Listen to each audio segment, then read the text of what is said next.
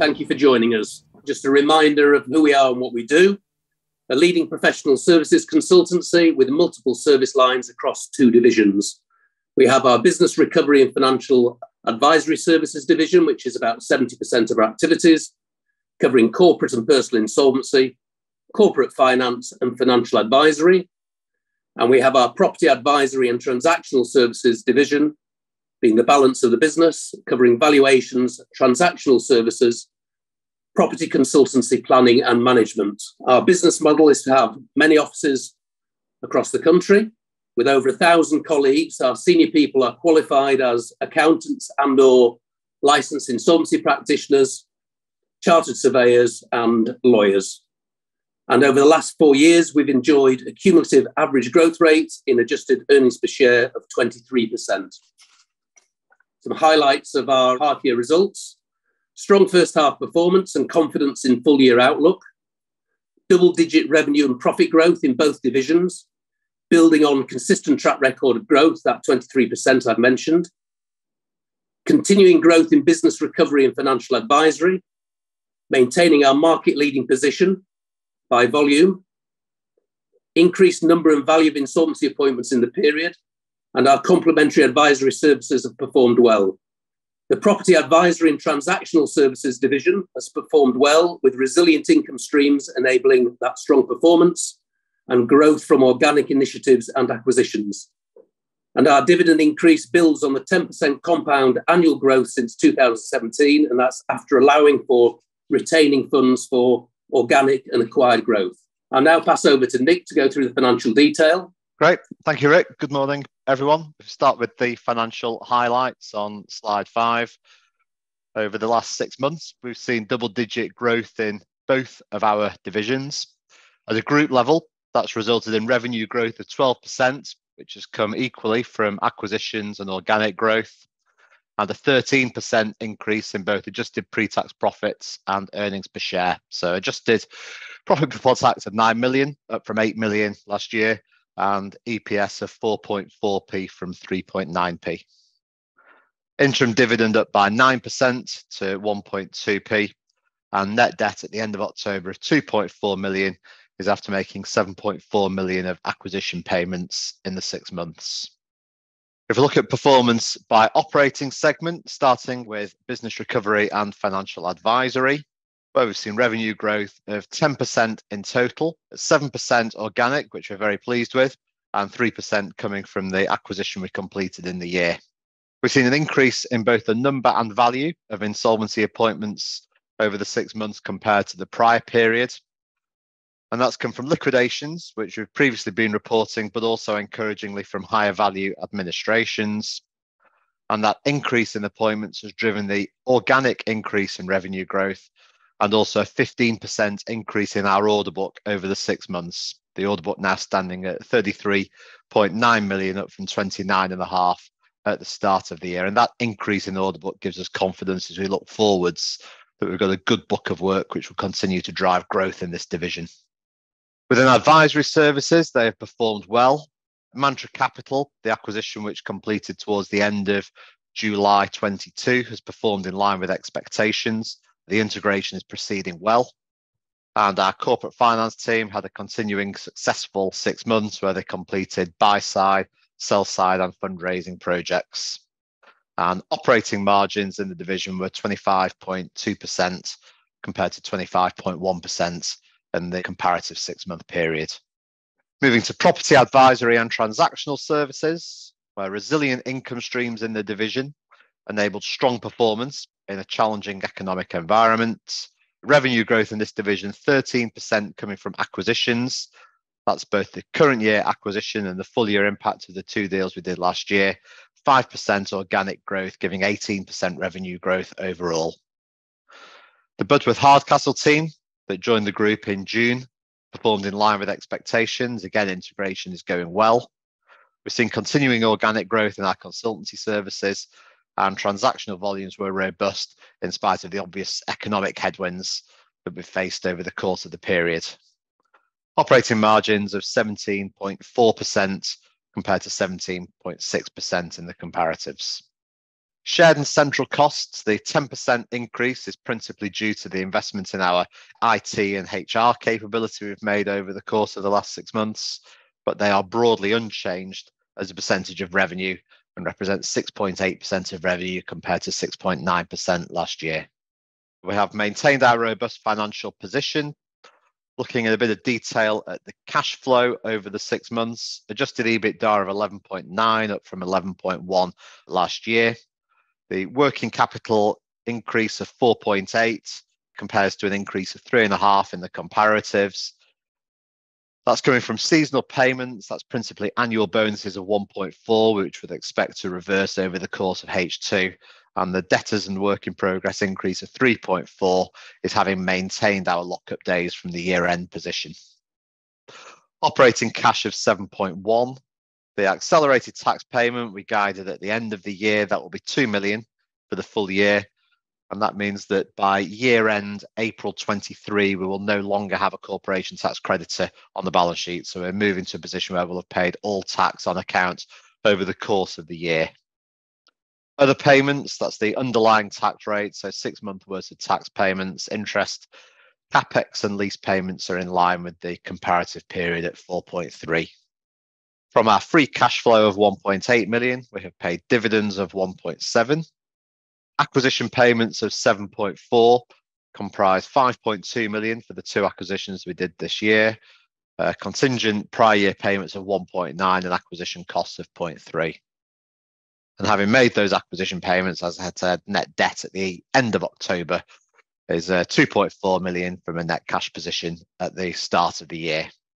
We've got significant headroom in our facilities, which run through till August 2024, and those facilities is a 25 million uh, RCF and a 5 million acquisition line. Our full year outlook, we are confident of delivering market expectations for the full year.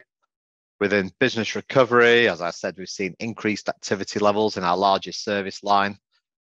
That's been seen through the increase in the order book, which supports activity moving forwards. We are seeing a higher level of inquiries and increasing economic headwinds, which are giving some significant challenges for UK corporates, and we're confident of delivering growth through the second half of this year and thereafter. Within financial advisory, we've got an encouraging pipeline of engagements, which gives us confidence for H2 performance. And within property services, our expectations are unchanged despite the challenging economic environment, and our division benefits from having resilient income streams. We're seeing a continuing flow of new instructions, and we continue to develop our mix of services. Overall, we are confident of delivering market expectations for the full year following the half one performance.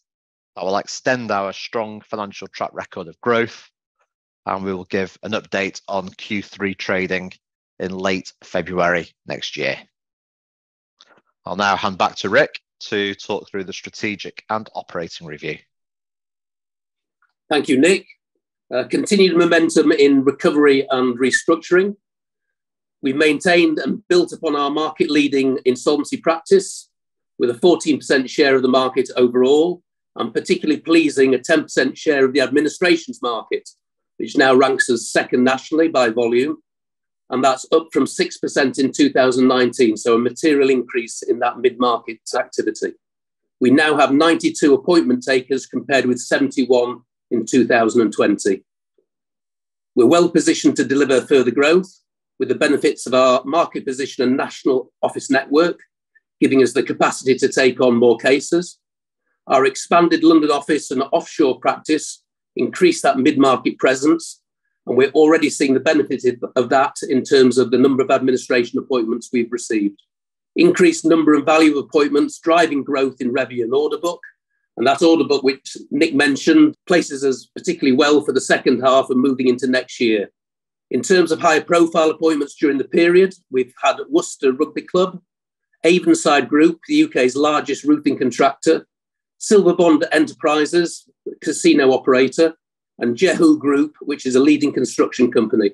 They're all mid-market appointments, and the major benefit of those appointments we'll see in the second half and beyond. We've advised on the first SME court-sanctioned restructuring plan, and we're involved in an innovative scheme with one of the major banks to assist in the recovery of bounce back loans. So that's looking at cases where loans may have been used inappropriately and taken out by directors.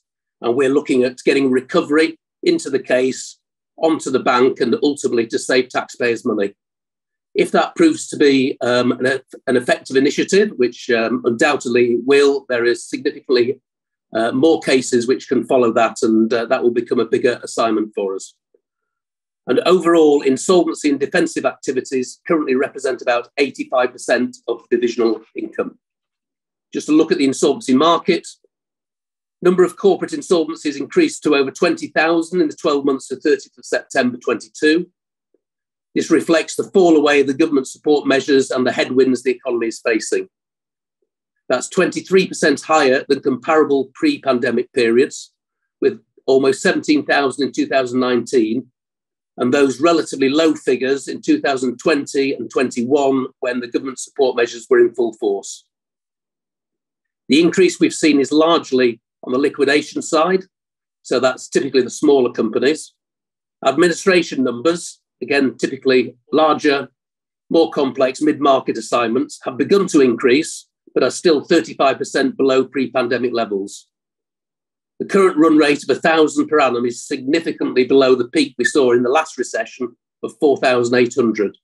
We're seeing an increase in our number of administrations as a function of our expanded London office and generally taking market share. Continued economic headwinds anticipate to drive higher activity levels. Higher interest rates and inflation expected to continue through next year.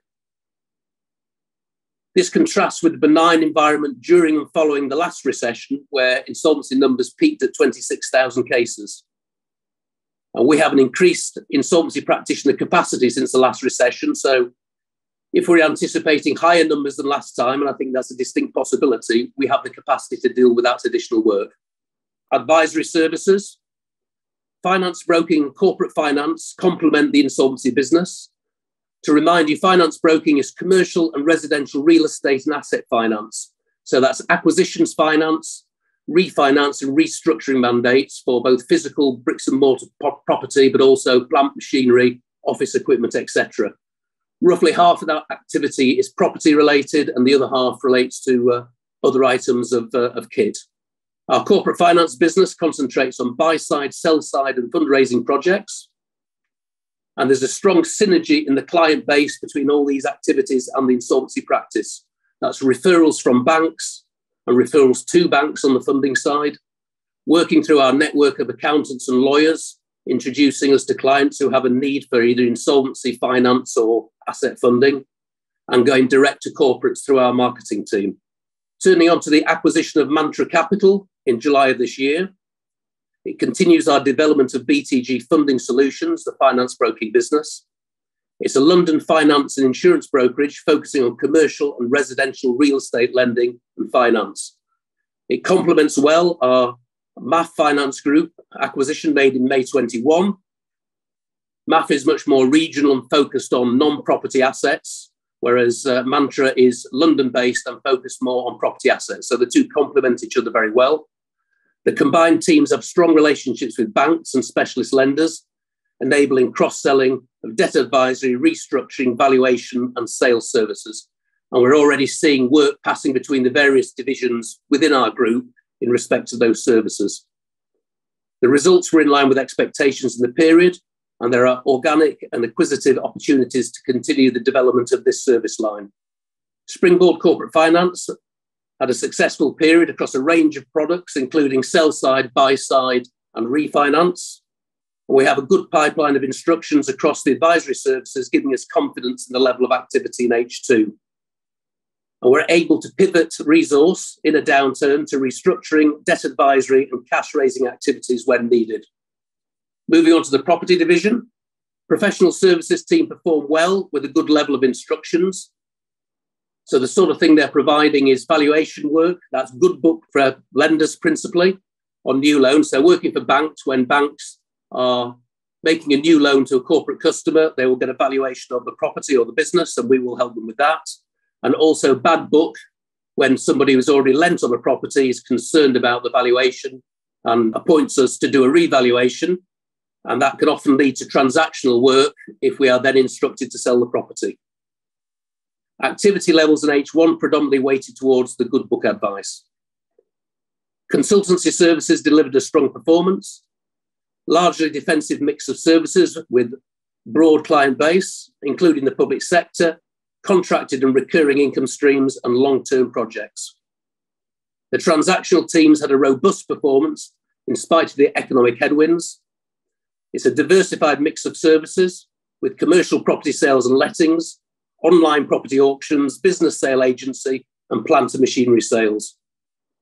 Work across insolvency, defensive, and pro cyclical transactions. In terms of defensive insolvency, there's LPA restrictions coming direct from banks.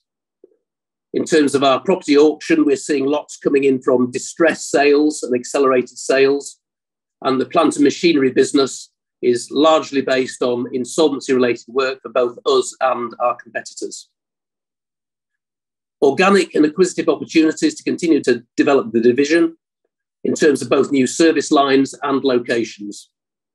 And overall, in the property division, insolvency and defensive activities currently represent about 75% of divisional income.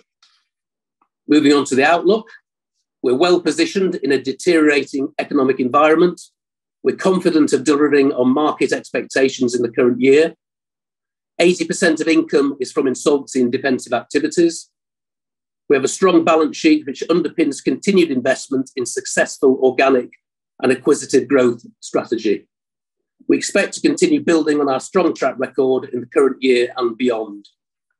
And just finally, on the next slide, to remind you of the growth record over the last five years, where we've seen significant growth in revenue, more than doubling, significant growth in adjusted earnings before tax, rising from 5.6 million to 17.8.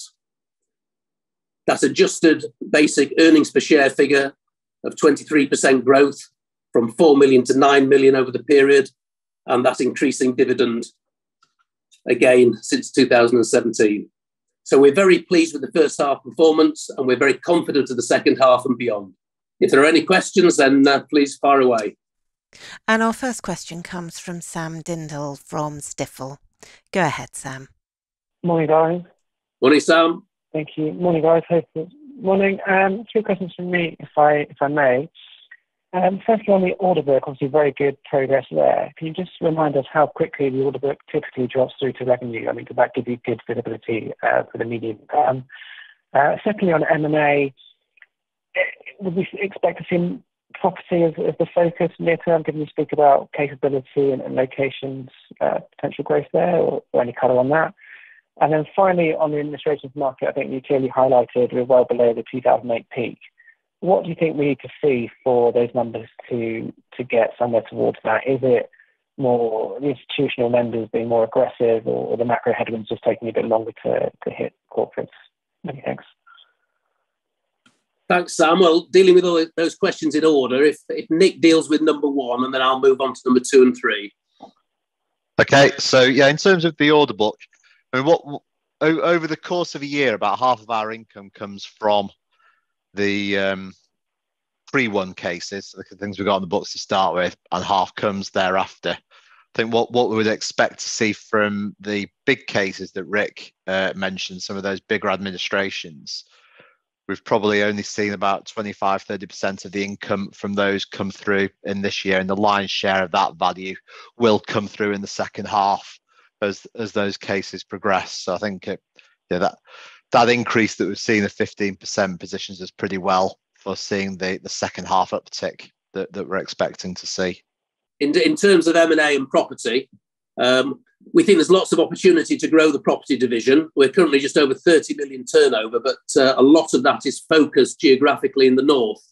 So while we do have a London office and some other offices outside the north of England, there is scope to uh, seriously increase the size of that presence and uh, that will be a focus for us over the over the coming years. Obviously, we're cautious at the moment about uh, what we might take on, and particularly in terms of things like agency, which may well uh, have a relatively difficult eighteen months.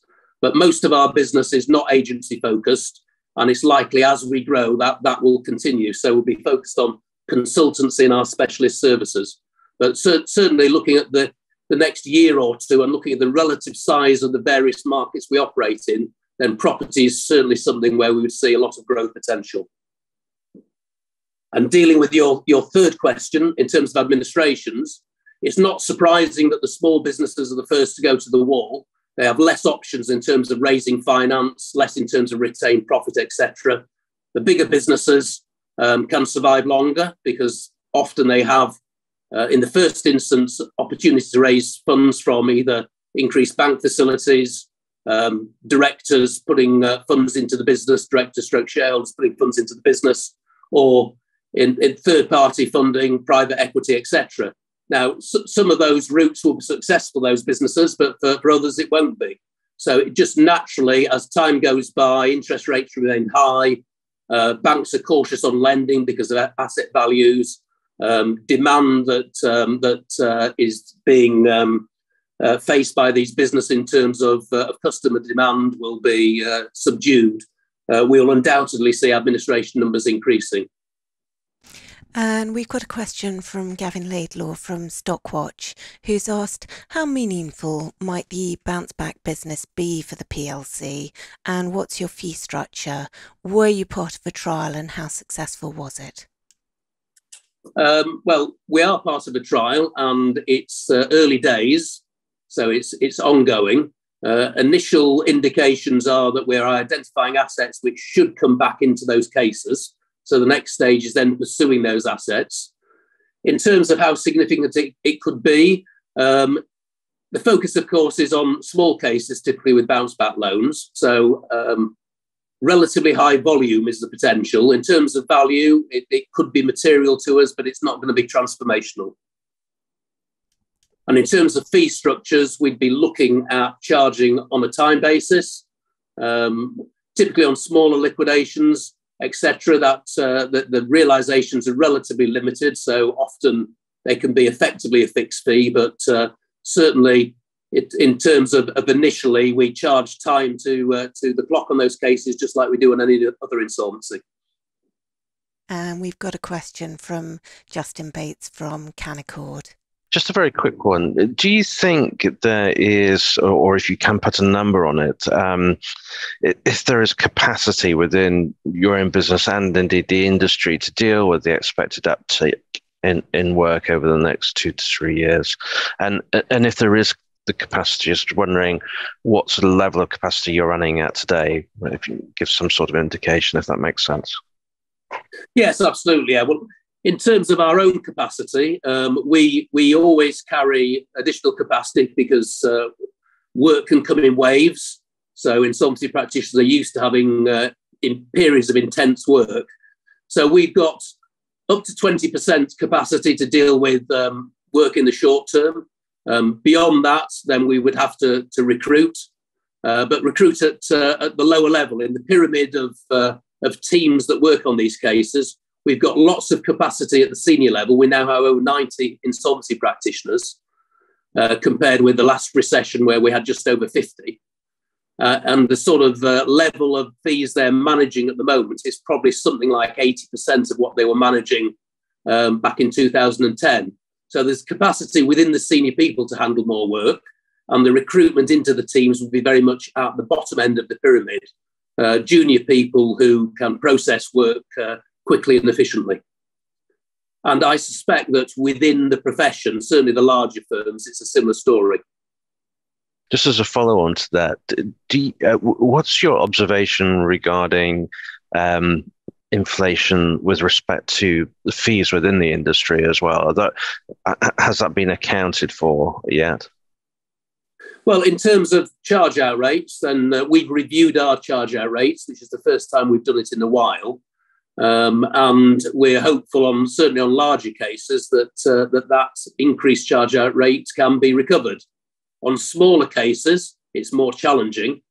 And on smaller cases, our focus is very much on the efficiency of dealing with those cases and using technology where we can to reduce the, uh, the human input while retaining the quality of the work we do and making sure that we're uh, complying with all our statutory liability in terms of, uh, of, of doing work on those cases. So, you know, we're, we're hopeful that overall we can maintain or improve margins over the course of the next year or two. And that's the end of questions. Ric, do you have any closing remarks? I would just like to thank everybody for joining us today. Just to reiterate that we are very pleased with the performance so far in the year and confident of the rest of the year. And uh, we're looking forward to speaking to you again in six months' time. And in the meantime, have a lovely Christmas and New Year.